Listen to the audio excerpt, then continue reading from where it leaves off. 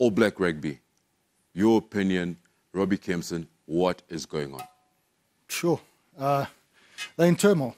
There's definitely, there's, whether they say it or not, there, there's something amiss, um, as we've had in our you know, national setup. You can see when something's not quite uh, you know, sticking right. Whether it's the coach, whether it's um, Sam Cane, which I, I, think would be unfair to, to blame. Um, certainly, you know, and we were chatting about it earlier, Swys, most countries get rid of the head coach yeah. and then worry about what's underneath and where they can shift it. Um, I do think Jason Ryan's an impeccable coach. I think he's, he's a great addition to them. Um, you know, positive for him is they did stop our driving mauls. They were in the back foot in the scrums. They were always going to be with the kind of talent that we have.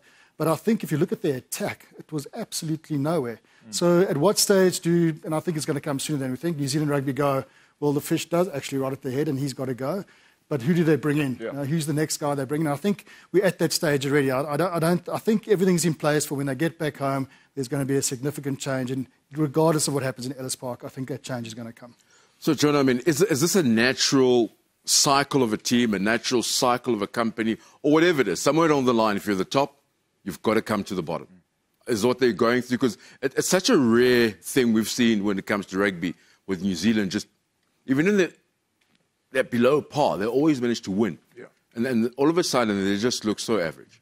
Look, I think, you know, the, the one thing also New Zealand has done well historically is that they've always uh, promoted from within. So assistant coaches, when, uh, when Graham Henry left, uh, the next one came in from there. And, and so I think the, the, the, their system has worked up until this point, yeah. you know, by, by promoting with, with, from within, which I also think it's good for a system because, you know, you kind of keep continuity. But at the same time, not all assistant coaches makes great head coaches, you know. And and coming to the point of you know guys like uh, um, um, John Plumtree was at the Sharks, you know him being fired. I would have actually maybe loved to give him an opportunity as a head coach because again he has been a head coach. He has taught South Africa. He knows what it's about in terms of you know challenging South Africans. He knows what it takes to get under our skin. And and, and so now we've actually uh, cut our first our inside inside lane. We've actually cut him and, and chased him away.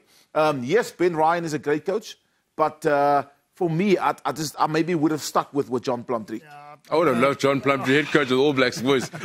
I, would, we, yeah, we, I think we'd have done I, I would right. welcome that. I, I think, you know, you know Swys, you've done finals against Robertson mm. and what he brings to the table. I mean, it's just, I think they need a, a, shift from where they've been for the last couple of years, almost you know, 10 years now, under this kind of regime that they've had isn't Robertson worth a chat now regarding you know, where they're going, what they're trying to achieve? The game has yeah. changed. He's the most successful coach in New Zealand. Surely he deserves a crack. It, it seems like it's beyond rugby. You know, when you bring Robertson in, mm. I think of a guy like Robbie Deans, mm. Crusaders for years, True. in control, dominant, mm. could never get the All Black uh, job. Now you look at a guy like Robertson, dominant, under 20s, mm. uh, Crusaders, can't get the All Black job. Could it be a we're not getting a head coach from from from from from uh, Crusader country.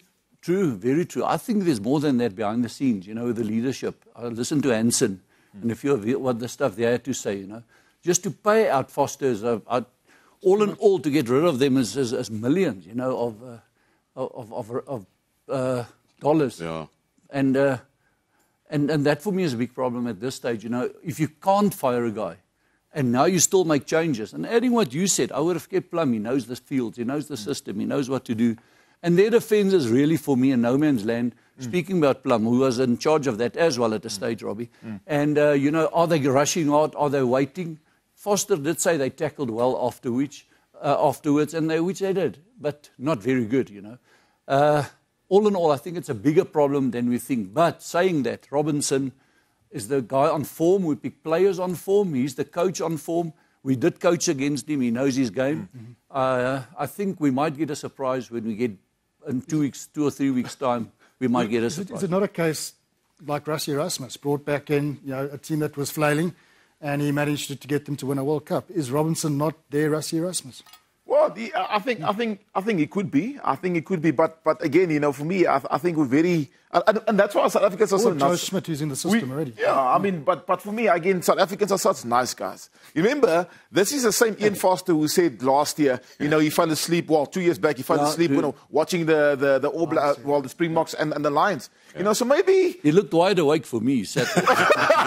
well, maybe, maybe, maybe we should just maybe just let them deal with it with their stuff because again let, let, let's go back to our show we did last year. we, we, we, it was said on their show that our rugby is boring, our rugby is, is still, there's no excitement. Well, uh, we won the match over the weekend.